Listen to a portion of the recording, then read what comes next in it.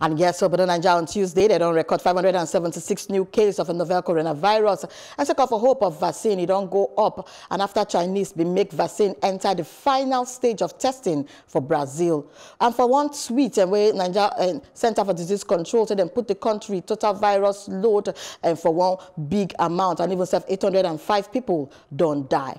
And in Lagos, the country virus epicenter report the highest number of new cases with 88, Kwara second with 87.